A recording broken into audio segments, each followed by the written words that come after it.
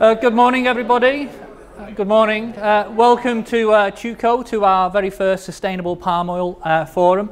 Uh, my name is uh, Mike Haslin. I have the pleasure of welcoming you today uh, to this fabulous event. We're so thrilled to see so many of our members and suppliers and key stakeholders here. Uh, who would have thought a day of oil and fats would be so popular? Um, I was fortunate enough to be invited by the RSPO to a launch event last year, um, and I went down having thinking I had some knowledge of uh, palm oil in particular, and was very quickly, within two minutes of standing there in the room, had my whole thoughts changed within minutes. Now, I'm not going to steal Judith's thunder by telling her what um, she told me that day, but it was fascinating. So the insights that we've got lined up with a really great panel of speakers uh, should be really informative and what the day is designed to do is to raise awareness and to raise the actual facts of the important issues of the key oils and fats that we're using every day in nearly every product that we uh, have. So uh, I hope you enjoyed the day and welcome again. Without further ado, it's my pleasure to welcome uh, Kevin McAlister from AAK, and he will be talking about oils and fats, a top line introduction. So, uh, welcome everybody.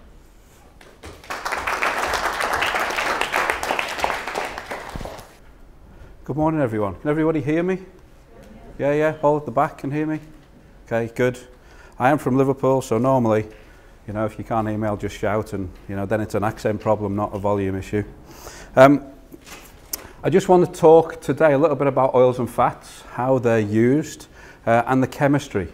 But don't worry that we're not going to go back to O-level chemistry and get your periodic tables out. You know, you don't need to, to be concerned about that. But the first question really is, what are fats and oils? You know, what's the definition of them? Well, in very simple terms, fats are solid at room temperature and oils are liquid at room temperature. And you might think, well, that's straightforward enough. But if we're here in the UK and you have some palm oil, it is a fat because the ambient temperature here in the UK is cool enough that it's solid. But if we go to the areas of the world where it's grown, in Malaysia and Indonesia mainly, Papua New Guinea and Southeast Asia, some parts of Africa and South America, it's more likely to be an oil because the ambient temperature is much higher. That makes sense, I guess. Most of you have seen rapeseed oil in the supermarkets, and here in the UK, rapeseed oil is a liquid oil. If we went to the North Pole, not that we find any Tesco's or Sainsbury's at the North Pole, but if we did, it would be a fat because it's so cold that the, the oil would be too hard, it wouldn't pour. so whilst this is a simple definition, it also depends where we are in the world. But I'll just make sure that we, we only talk about the UK. So oils and fats are mixtures of triglycerides or triacyl glycerols. And these are effectively a glycerol molecule with three fatty acids attached. And they look a little bit like that. With the red band being a saturated fatty acid, I'm sure you've all heard of that uh, word before. The middle one being a monounsaturated, and the bottom one being a polyunsaturated. So that's two or more double bonds. and the characteristics of oils and fats are determined by two things mainly. Number one, the type of uh, length, sorry, the length of the chain and then the type of fatty acid, whether it's a saturate, a mono or a polyunsaturated that's linked to it. And you have those that are saturated without any double bonds, and you can see that's quite straight. You have mono monounsaturates with one double bond, and you can see there's a kink in that fatty acid. And then polyunsaturates, which is two or more double bonds, you can see there's more kinks. And so when you, when you think about that, uh, you can understand why there's different uh, melting points and different amounts of energy required to separate those fatty acids. The other issue is how long the chain lengths are, and these are just hydrocarbons.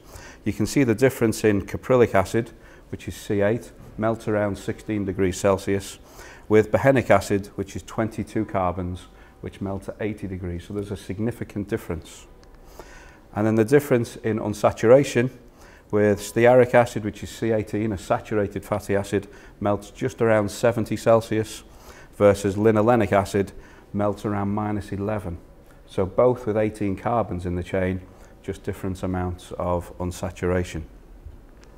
So what's the difference? Well, a cis isomer has the, uh, the hydrogens on the same side of the carbon, and the trans has them on opposite sides. And in terms of fatty acid composition, I don't anticipate that you'll be able to uh, read all of those uh, numbers of a fatty acid composition. But certainly when we look at a graph, you can see on the left-hand side you've got palm oil, which is about 50% saturated, 50% unsaturated. You move to palm kernel and coconut, which are even more saturated. And then once you get to uh, rapeseed, you'll see that the unsaturated levels are significantly more. The first four, going from left to right, for us in the UK, we know them as fats, and the second four are oils.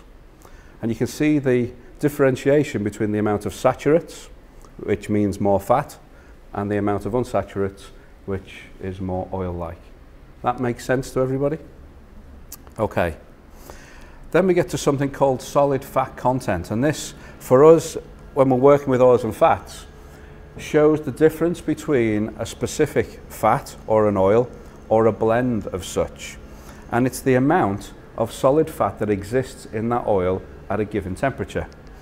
And as you increase the temperature, the amount of solid fat decreases.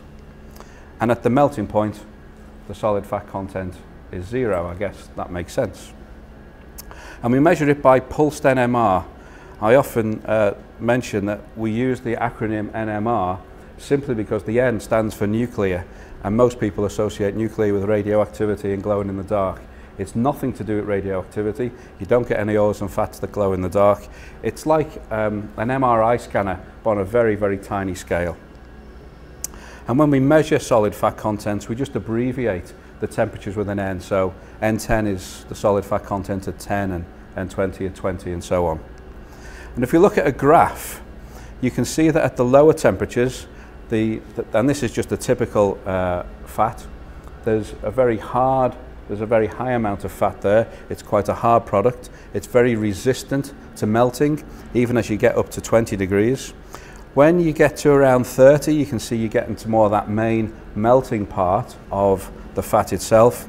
And then 35 and 40, you get almost uh, a completely molten product. And it's a little bit waxy. And we measure generally at 10, 20, 30 and 35 and 40. And the reason for having 35 in there is that's generally the mouth temperature. Um, you know, body temperature is around 37 degrees. If you're like me and you speak a lot, your mouth's generally a bit cooler. And so that's the temperature at which it will be in the mouth. So the amount of fat that will be there as we're chewing a food or a, a product that contains fat. And so just to give you an indication, that is the melting profile of palm oil. And we're going to be talking about palm oil today. That's palm kernel oil. Now palm kernels come from the same fruit as, as palm oil, but it's from the stone. If you imagine a plum, the palm is, comes from the flesh of the plum and the palm kernel from the stone. They're two very different oils and you can see it melts in a very, very different way. That one is coconut oil, very similar to, to palm kernel, a little bit harder at the lower temperatures, melts just a little bit more quickly. And then shea, uh, I'm guessing most of you have not heard of shea in terms of food, but you've probably heard of shea butter. It's used in cosmetics and those sort of things. It's the same thing. That's the melting profile of shea. So it has a much higher melt profile. When we look at the sources of vegetable oils, a very, very rough uh, rule of thumb, um, geography was not my strong point in school, uh, but where those uh, names are, are positioned on the world map is roughly the part of the world where they're grown. And these four oils, so palm and palm kernel, soy, sunflower and rapeseed, they represent around 75% of the total global production of vegetable oils and fats. So you got sunflower just under 20 million tonnes, and this is from data from 2018. You got rapeseed just over 26 million, soy just over 56 million tonnes, and then palm is 73 million tonnes. When you think about palm oil, uh, you can see it's clearly the, the global leader, and it's only predicted to increase much more dramatically. Um, but in a broader context in the UK, UK refiners use only 0.62% of the total global palm oil that is produced. So not even two thirds of 1%.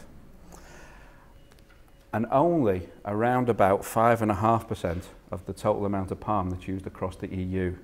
I'm not sure I'm going to be able to say this in about seven weeks, but I can say it still for the time being.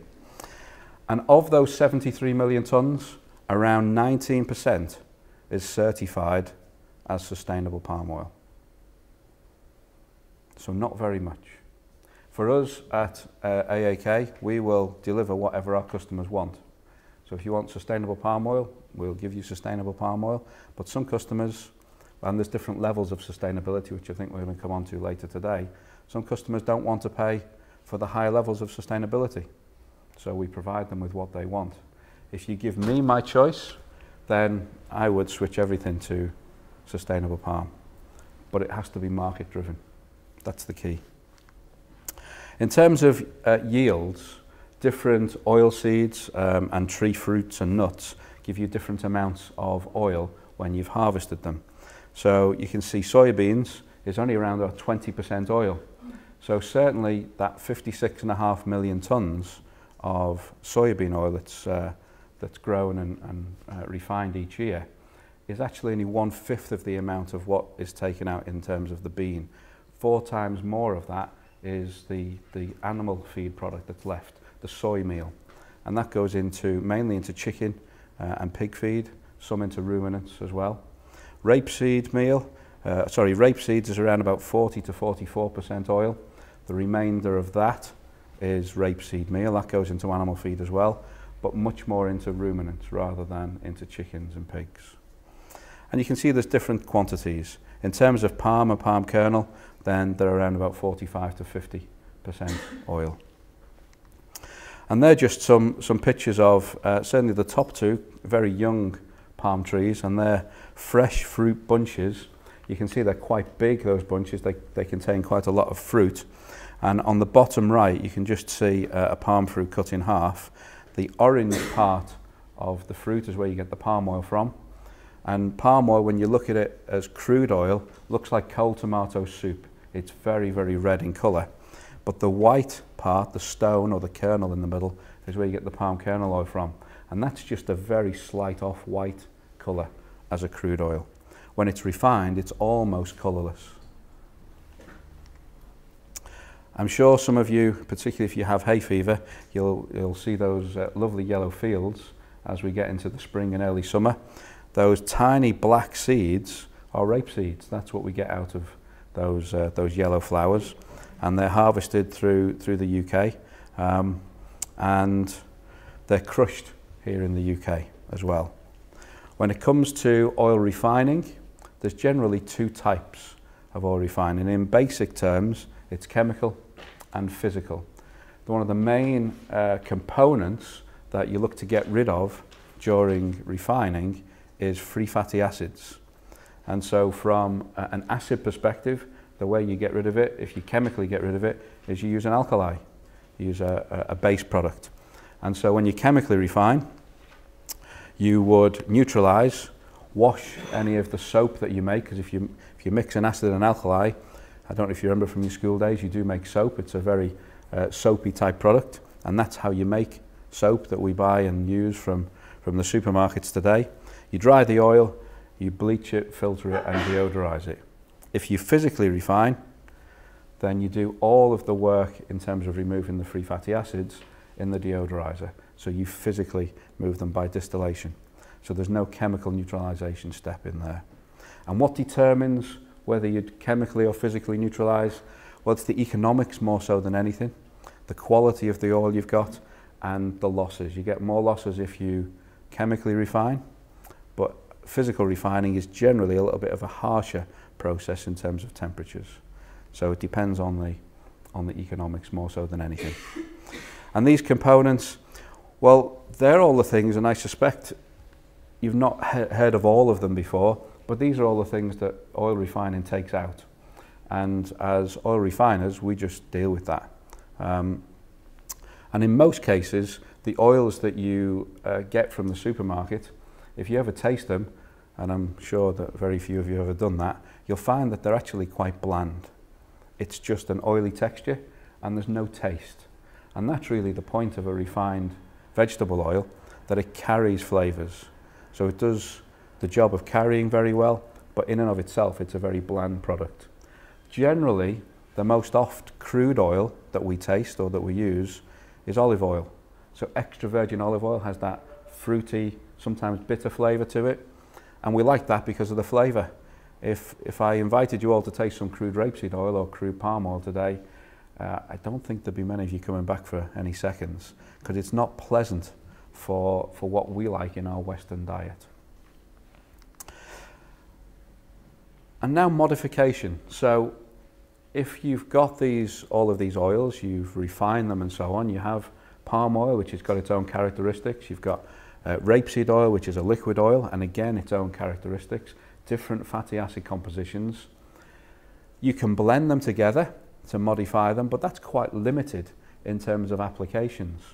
And so we use a number of different modification techniques in terms of oils and fats to give us the end products that we need to make a functional uh, product. So blending, I've mentioned, it is simple, it's very low cost, but it's very limited in what you can achieve. You can hydrogenate. I'm guessing, if I can just ask by a show of hands, who's heard of hydrogenation here? So, okay, thank you. So most of you. And that's interesting. Um, would any of you accept hydrogenated oils in food? Again, show of hands. Wow, not one. That's interesting. And the, the reason for that is, I guess, the information that you've read about or that you know about concerning hydrogenation, probably linked to trans fatty acids, which generally are linked to coronary heart disease and poor health and so on and so forth. It's interesting that that's only a very small part of the story. I'm not going to say it's not true, but there's a bigger part of the story. And I would eat, I suppose I should have put my hand up, I would eat foods that have hydrogenated oils in and not have any concerns about the health effects of them. But it depends on how they've been processed. So we'll, we'll look at that in a moment. Fractionation. Any of you heard of fractionation? Okay, I've got four or five hands there, so much fewer than uh, I, I guess you would, Andy. Okay. Uh, and interesterification. Right, we're down to one. Right, okay. Sorry, a couple at the front. So it's interesting, most have heard of hydrogenation, I guess because of Daily Mail and things that were in the news maybe 20 years ago relating to it. Um, maybe some of you have read or heard of Walter Willett's study. He was the Harvard professor who did a 30-year study of nurses and hydrogenated uh, oils and fats in, in the US. Um, very few about fractionation. It's a very simple process, but very uh, useful. And interesterification sounds um, very chemistry-like, I guess, and very few of you have heard of it, which is, which is interesting. You effectively take oil, you heat it up in the presence of hydrogen. I guess that's not a surprise. Uh, you use a catalyst to do so, and you can turn an oil or a fat into a semi-solid oil or a harder fat. Um, so rapeseed oil, uh, you can take from being a liquid oil. It melts if you, if you get it really cold, around minus 10, minus 11 degrees.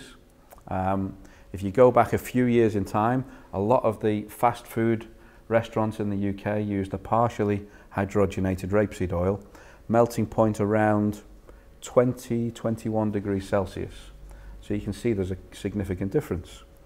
Going back even further, it was used in biscuit dough fats, biscuit cream fats, in cakes and so on. And that had a melting point of around 35 degrees. And today we still make a fully hydrogenated rapeseed has a melting point of around 62 degrees.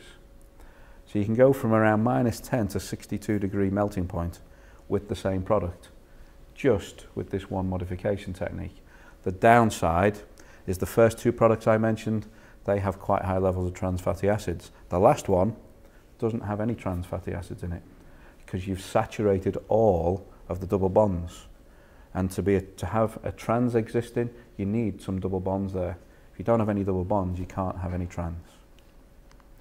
So you react the hydrogen, uh, sorry, the oil with the hydrogen in the presence of a nickel catalyst, as I mentioned, and you can vary a number of things, temperature, hydrogen pressure, the type of catalyst, the speed at which you mix it and so on. Um, and you can tailor make a product to meet the customer's end requirements. Um, you would take a monounsaturated oleic acid, which is the one on the left, uh, and change it into elaidic acid, and they're both 18 carbons, one double bond. It's just the hydrogen is on the opposite side for the trans and the same side for the cis. And there's a huge difference in melting point. 13 degrees for the cis, 43 degrees for the trans. And I guess if you look at those and you got those as, um, as models and you tried to pack them into a, a, a rectangular cardboard box, you'd be able to get an awful lot more of the trans because they're more straight than the cis. Does that make sense? And when you think about that, you therefore need more energy to separate those trans fatty acids than you do the cis. And that's just simply why they have a higher melting point, because they can pack together more easily. So in terms of that, rapeseed oil is on the left. The partially hydrogenated rapeseed oil is the second one. You can see there's not a great deal of difference apart from that red band on the right hand side, which is the trans fatty acid limit. The next one along is hydrogenated rape, which has a melt point of around 35, has much more trans and a much higher level of saturates. But the one on the right hand side is the one that we use today. It's used in uh, lots of products. It's actually also used in candles. So you can use it, doesn't have to be still used for food. You can use it in non-food applications as well. Um, you'd need to blend it to make it a little bit softer, but it actually works well if you, if you make it with candles and put some nice smelling oils with it and you can light it up and it smells nice in your living room at home, I guess. I don't like candles, but that's, that's a separate story. How does that look in terms of the melting profile? The first one you'll see, was, you'll hardly be able to see it. The very bottom line on the graph is going to change colour, and it just did. I don't know if you can see that. That's the liquid rapeseed oil. It doesn't have any solid fat at any temperature. The next one is the partially hydrogenated rapeseed oil. So it doesn't have many solids in it. Now, why would you do that? Well, you can see from there, it's still quite pourable. There's hardly any levels of fat in there at all. And if you subtract the amount of fat from 100, you get how much liquid oil. So if there is 5% solid fat, there's 95% liquid oil. So it's very pourable, ideal for pouring into an industrial fryer in a fast food uh, restaurant or just in a restaurant train, uh, trade.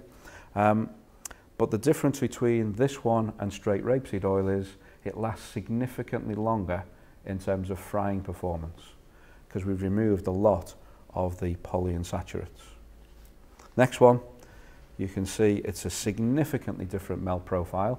That's the hard rate melting point around 35, 36 degrees. That was ideal for use in biscuit creams maybe 20 years ago, maybe 25 years ago. When you eat the biscuit cream, you, you bite into a biscuit, you start to break the cream down with the, the action of your teeth. The heat of your mouth also melts the fat crystals, releases the, the sugar, the flavours, and you have that nice experience. So you go and reach for a second biscuit. And that's the whole point of biscuits and cakes and chocolate. And well, I'll, I'll pause there. And then the top line, you can see it goes almost straight across the top. That's the fully saturated rapeseed oil. It's almost as hard at 40 degrees as it is at 10 degrees. And that's because we're nowhere near the melting point. But that one doesn't contain any trans fatty acids or a very, very tiny amount. Therefore, in terms of the issue with hydrogenation, there isn't any issue with the trans. And that's the one that I wouldn't have a problem eating, not by itself. If you tried to taste that, you'd be chewing it forever because you'd never be able to break it down but you use that and you blend it and you compare it with and use other modification techniques, then it becomes a very useful and functional product. However, I do recognize that, and please don't take this the wrong way, the customer's always right, even when they're wrong. And so if your customer says, I don't want hydrogenated on my label, I don't want to have to declare that any of my products contain a hydrogenated fat, then you have to comply with their request. So the advantages of hydrogenation, it produces a hard fat from a liquid oil, it improves stability, and that's a really big point. And it's very flexible and cost effective. And you can produce products for a wide range of applications. The downside, it's a chemical process. And the biggest issue is you produce trans fatty acids in partial hydrogenation, not in full hydrogenation. But I guess again, if you, if you take all the health issues and everything else away, and you tell me I can only use one modification technique to make an end product for a customer, this is the one I choose because it's the most flexible. You can do the most with it. Obviously, you do have the downsides as well. Fractionation. This one's quite straightforward. Um, the two tanks you can see in this, uh, in this screenshot, they are the tank where you'd put uh, an oil. Palm oil is a typical one that would get fractionated, and we do this at AAK. You have a several paddle stirrer, and this is just mixing very slowly. It's not designed to break fat crystals, it's designed to equalize temperature. Around the outside of that stirrer, you can see two red bands on each side. That just shows that it's a water jacketed vessel. And you cool the palm oil to a certain temperature, and it doesn't matter what oil, you can do a variety of oils, and you allow crystals to form, but it still needs to be fluid, it still needs to be pumpable. What you then do is you pump that semi-crystalline liquid through a membrane filter. The hard crystals will get caught on the filter plates and the liquid oil will get pushed through and come out. The hard crystals are known as stearine and the liquid is known as oleine. So you make palm stearine and palm oleine. Has anybody heard of those? There's a few of you, okay, palm, palm and palm stearine. What's interesting for this is you can actually take that palm oleine and palm stearine and fractionate it a second time. And if you do that, you can make a double fractionated palm oleine. And this is a palm product that is pretty much liquid at ambient temperature here in the UK. It'll have a tiny amount of solids, maybe 1 or 2%, 98, 99% liquid. Ideal for frying applications, very, very stable product, very easy to handle. You can almost, uh, you can also make, sorry, a double stearine. So a very, very hard palm stearine, so hard that you can flake it and you can make fat flakes from it. And you see you make palm mid-fraction, uh, mid-stearine and so on. And they're ideal for use in a variety of applications, but mostly in chocolate. If you read so the I'm, I'm quite sad. It drives my wife mad if we go shopping. Most of the time, she doesn't allow me to go shopping to the supermarket because I get left in an aisle reading the ingredients on products. But if you read the ingredients on some chocolate, milk chocolate particularly, you'll find it contains palm or maybe shea or cocoa milipe, but palm is in there quite often because it's a lower cost product than you can use in some of the others. The interesting thing is the percentages there gives you an indication of how much you get so if you fractionate 10 tons of palm oil, you'll get approximately 8 tons of palm oleine and 2 tons of palm stearine. And you might say, well, why is that important? Well, it's important because if the palm stearine is the thing that you can sell, but you struggle to sell the palm oleine, you're making four times as much of the product that you're going to struggle to sell. So the smaller fraction has to take all of the costs and all of the premium, which makes it significantly more expensive. So it's a very useful way of modifying product. It doesn't use any chemicals. It's almost a natural process, if you will, but it has its limitations. This graph just shows you some of the effects on the nutritional information. So palm oil is on the left, and round numbers, palm oil is 50% saturates, 40% monounsaturates, 10% polyunsaturates. If you move to palm oleine, you can see it actually doesn't change a great deal. But you move to the palm stearine, which is the fourth one along, there's actually more of a significant change. But you remember, for every ton of palm, you get 80% olein and only 20% stearine. And that's why the differences are more stark. And if you fractionate them again, you can see the IV50, the double fractionated stearine, is significantly harder and has more than 80% saturate in it. So again, useful in particular applications. What does that do to melt profile? Well, that's palm oil. We've already seen this one. Palm oleine is that yellow line. Palm stearin is the red line. there's going to be a grey line appear almost on the very bottom, and that's the double fractionated palm olein. And that's why it's so useful for, uh, for restaurants, uh, people who need an oil that you can pour from a container because it's so easy to handle and it's very stable. And then the IV15, you can see, is significantly harder, has a much higher melting point. You can fractionate palm kernel oil and you make around 40% palm kernel stearine to 60% palm kernel olein. This is one of the applications where there's not a lot of use for palm kernel olein. Palm kernel stearine can be used in so many different things. It's exceptionally useful, particularly in confectionery, ice creams. But because you struggle to sell the palm kernel olein, the palm kernel stearine has to take all of the extra premium. So it makes it a very expensive component. So the advantages of fractionation, it's a natural process. You can make some very useful, excuse me, and very specialist products, but it's a fixed yield. So when you fractionate palm, you're always going to have that roughly 80-20 split. You can move it a little bit. You maybe can get 85-15 or 75-25. You'll change the characteristics of each, but you're not going to be able to switch it to 50-50. That's just never going to work. And so the economics depend on having the demand for both fractions. And that's the, that's the difficult part of it. Interesterification. This word, I guess, frightens people because it's a long word and it sounds very chemistry based. But what you effectively do is in the presence of a catalyst, you modify the structure of the triglyceride. And don't worry, I'm not going to get too chemistry based on you. but it's a process that's done under heat uh, and vacuum. And you randomize the triglyceride and you produce a fat with very different properties. You might think, well, what's that all about? Well, if you look at this table here, you can see that uh, if you remember the triglyceride, so the backbone of glycerol, three fatty acids, if these fatty acids are all palmitic, which is a saturated fatty acid, then there's no double bonds, it has a 66 degree melting point. If they're all oleic acid, which is a monounsaturated, it has a melting point of minus 10. You think, great, okay.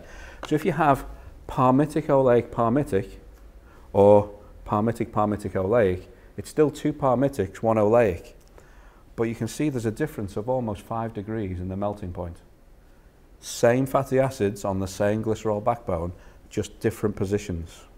and that's really what interesterification does. So it takes this standard base product that you have and it randomizes it. Not quite that way, it was supposed to be when, when I sent it, and I'm not very good at PowerPoint, so one of my colleagues did this. So the, the reds and the yellows were mixed up all the way through. I guess this has become corrupted a little bit. But what you have is the triglyceride composition after is a very different composition than the one before. The fatty acid composition, so the amount of saturates, monos, polys, they're exactly the same. You haven't changed that. You've just changed the order in which they are on that glycerol backbone. and what does that do? Well, this is a, a palm stearine palm kernel blend before you interesterify and then after. And you might look at that and say, well, that's not much different. It's a bit different, but not much different. If you use the top one in a cake or a biscuit cream, is probably a good example, you would chew the cream and you wouldn't find the biscuit a very pleasant experience, a cream-filled biscuit. The after interesterification, you would find, well, for me, you'd reach for a second biscuit because it releases the sugars, the flavours very well. You think, that was nice, I'll have another one. And that's the difference between those two. So the advantages, you don't form any trans fatty acids. The fatty acid composition is unchanged. The after product usually has more solids, more crystals than the starting material. Not all the time, but usually it does.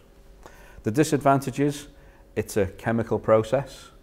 Sometimes you need complex raw material blends to actually get the finished products that you want. And most importantly, it doesn't improve stability. You would never use an interesterified oil for frying because it's pointless.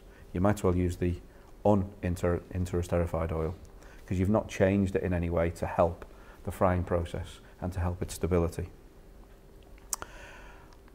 So, with all of that background, and I was thinking of producing a quiz for this, and I thought, no, I haven't got time, and I'm sure it won't be well received. So, I just wanted to outline just a couple of reasons why there are few alternatives to palm. So, first of all, it's unlikely that any single oil or a simple blend will meet the requirements of a functional product that is based on or has palm oil in it. Now, when I say functional, what I mean is the right crystal structure for, uh, for the product. And I'm going to talk a little bit. These are all products here in front of me. This is not lunch. You can be, you can be glad to hear. But these are all products that contain palm oil in different um, applications, different quantities, and different types of palm oil. Um, it's likely that you would need to use one or more of the modification techniques that are already identified, quite possibly following blending. And depending on the application, um, and it is application dependent, in summary, and I'm just looking at us in the UK now, if you don't want palm oil, you have your liquid oils. So rapeseed, soy, sun, sunflower, maize, olive, and they're hybridized varieties. Some of you have heard of High Oleic sunflower oil. It's been around a few years now. High Oleic rapeseed oil. And there's different hybridized varieties. They're the two most common ones that you've got. They're all liquid oils. So if you need a crystal structure, they won't work. You've got coconut oil. Now coconut oil works. However, and it's very good, but if you use coconut oil and you need some solid crystals there at mouth temperature, you're not going to get it with coconut oil because it melts around 27 degrees. So it's completely, it's ideally an ice cream, but not so good for products where you want some, some texture, some mouthfeel. You've got shea, and shea is actually a very useful product, and particularly if you, if you fractionate it. One of the downsides of shea and some of the other tropical oils, such as the sal, mango kernel, kokum illipe, and so on, is that they're in short supply, firstly, and because of the supply and demand, they're very, very costly. Now, I'm glad none of my commercial colleagues are here to kick me, but I suspect that shea versus palm oil, you're probably looking around four times the cost for every ton, maybe even five times the cost, depending on, on the application. And that's a significant impact. And if you imagine if you're buying oils and fats to use in a particular application, and the product goes from 600 pounds a ton to 3,000 pounds a ton, that makes your economics very, very difficult. And so, because of this, there are actually limited options to have other than palm oil. And so for, for me and for us at AAK, we would say make sure that you use sustainable palm oil and make sure it's the right level of certification for you. So this is my last slide, but in terms of discussion, I just wanted to take a moment just to show you some products, which I'm sure you've all seen, and they all contain palm oil. so I don't know if any of you are vegetarian or vegan or flexitarian or whatever other label you want to attach to yourself, but Quorn burgers, um, Quorn is based on mycoprotein, so it's a protein uh, from the mushroom family, and it's, uh, it's harvested from that. But if you actually have it by itself, this mycoprotein, it's not a very pleasant product. And nobody should hear from Quorn, are they? I should have asked that first. One of the things that you need to do if you're making a burger, when you eat a burger, if you eat a beef burger, you want to have that, that sensation in your mouth where you have a fatty mouthfeel, uh, a fatty taste. It releases some of those pleasant flavours. That's why you eat it. And so in this Quorn burger, or in the Quorn, Quorn burgers that this uh, had around it, there are uh, some fat flakes. And they're 100% palm based uh, with some of the modification techniques we've already talked about, not hydrogenation. Um, and they're used to give that more pleasant mouthfeel, that more pleasant texture. The succulence, I guess, is probably the best way of describing it. And you get that from palm oil flakes that we have in this particular product. This is a, a vegetable quiche from Marks and Spencer's. It was very nice. I ate this over the weekend. I thought I'd keep the box. Um, and the quiche, you know, it's got a filling and it has the, the pastry, the base and the sides. Um, the interesting thing about this particular quiche is the, the fillings are, are quite soft uh, and have a lot of liquid in them. The challenge was that it was soaking into the pastry, making the pastry very soggy and making it kind of a not as pleasant an experience to eat as you would want. So we developed a particular fat, a blend of fats in margarine, and we've used that in, uh, in the base for this, uh, and they are palm oil based. And we've managed to make a harder pastry base, which is more resistant to those uh, aqueous part of the filling soaking in. And you get, I think, it's one of my colleagues who's done this, not me, but I think you get an extra three days shelf life out of this than you did previously. And we did that with, with palm oil. I'm guessing you, you, you're going to be able to tell that I'm talking about palm oil all the way through this. Bourbon cream biscuits from Sainsbury's. So a bourbon cream is, is quite simple. It's, it's two biscuit shells with some cream in the middle. The biscuit shell is just a very straightforward dough fat based again on palm oil. Um, the cream is the interesting part of, of this.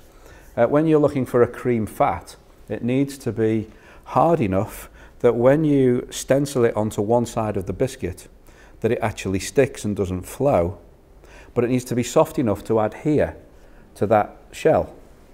So you don't want it falling off. But it also needs to be soft enough that when you put the top on, there is a gluing effect, that there's an adhering effect, but hard enough that the weight of that, and then when they're turned and pushed together in a pack, it's not soft enough that it squeezes out. It's quite a lot of technology, isn't it? Just for a cream and a biscuit. And that's what exists in these products, and that's based on palm oil too, in the, and palm kernel oil in the cream filling in the biscuit. Um, Bisto, Bisto gravy granules. I'm sure lots of you have used this on your, on your Sunday lunch. This contains uh, a very uh, hard palm fraction, a blend with other palm uh, products in it, and it's used to spray dry to make these gravy granules. So when you put the hot water in and you make your gravy, it gives you that lovely thick texture and nice mouthfeel and it releases those beef flavours that you get when you try gravy granules. Um, this lemon Madeira cake, we use a palm-based uh, margarine in the sponge, which is a very soft margarine. And in the middle, actually, is a palm-based butter replacer that we've developed. So you can actually take butter out and replace it with this product. And we've used that in this, uh, in this buttercream filling. Again, based on palm oil. Um, Kit Kat. I'm guessing most of you don't know. You'll know from the picture on the front, a Kit Kat's a chocolate-covered wafer biscuit. Did you know that between each level, each layer of layers, there is a tiny amount of cream? Did you know that? No, that's interesting. I've seen Kit Kats being made. It's a fascinating process. But that cream is, I'm sure you, you know what I'm going to say now, is based on a palm oil fraction. And it's been interesterified. And that gives you that lovely texture when you eat a Kit Kat. And you get that from the cream. And my last example, before I run out of time, is uh, Rocky Biscuits. So in a Rocky Biscuit, it's a chocolate covered biscuit with this biscuit um, centre and some caramel on the top. Problem with caramel is it has some water in it. And if you don't protect the biscuit, the caramel soaks into the biscuit. When you come to eat it, it's quite soggy. You don't get that snap, that nice feel which you want when you eat a Rocky biscuit. And so we've developed a barrier fat that you spray onto this biscuit after it's been made before you apply the caramel. So the caramel then doesn't soak into the biscuit because the fat provides a barrier. And I'm sure it's going to be a shock to you to know that's based on palm oil. And so I just brought these products along just to highlight some of the things that you can do with palm oil and some of the applications we've got. And you know, some of my colleagues know this, but if you, if you just let me talk, I'll keep talking for the rest of the day about palm and vegetable oils and refining. But my time is almost up. Okay, thank you very much.